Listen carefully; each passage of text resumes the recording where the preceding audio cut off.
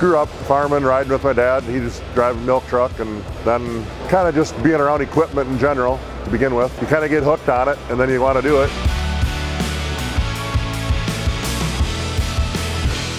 Brent Hall from North Mankato, Minnesota. Just a single truck owner operator, Hall'n Transport, drive van and reefer freight, little tank business here and there.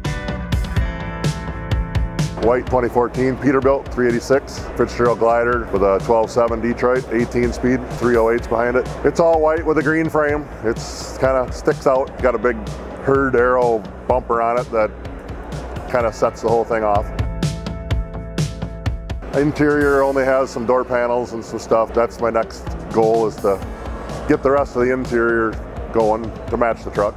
Put a lot into it because I've done it all myself for the most part, all the fabricating of it. If you ask my wife, too much, and probably gonna be a lot more, but it's a passion, it's a joy. Just want something that's gonna be a one of a kind and not bolt on stuff, you know?